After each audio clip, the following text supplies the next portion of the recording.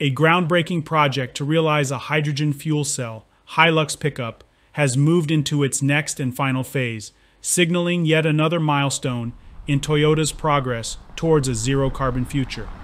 Since the unveiling of the first prototype vehicle in September 2023, Toyota and its consortium partners, supported by UK government funding, have reached an intensive evaluation and demonstration stage.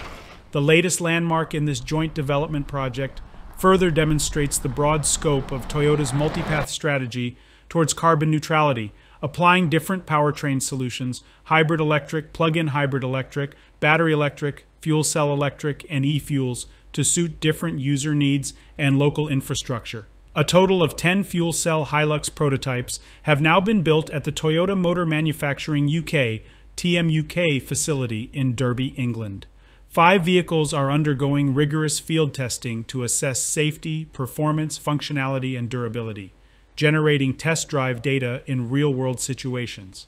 Five further units are engaged in customer and media demonstrations, including at the forthcoming Olympic and Paralympic Games, Paris 2024. By engaging customers with hydrogen fuel cell technology, Toyota is laying the groundwork for a successful hydrogen transport sector in the future. Along with Toyota's 30 years of research and development into hydrogen fuel cells, know how from the Hilux project will contribute to the next generation of fuel cell technology, which will offer longer life cycles, increased driving range for vehicles, and significantly reduce costs.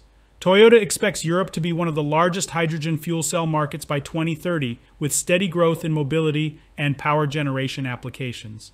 As a result, in December 2023, Toyota Motor Europe announced the Hydrogen Factory Europe, representing Toyota's coordinated approach to the commercialization of this technology, from development and production to sales and after sales.